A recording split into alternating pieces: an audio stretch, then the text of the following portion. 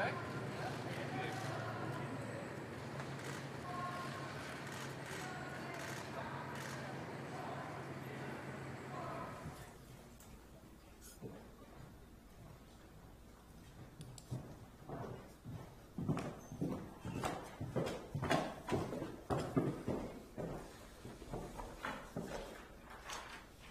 Good afternoon and welcome back to Downing Street for the daily coronavirus briefing. And I'm delighted to be joined by Baroness Dido Harding, the Executive Chair of NHS Test and Trace. I've been to see the Prime Minister to resign as Secretary of State for Health.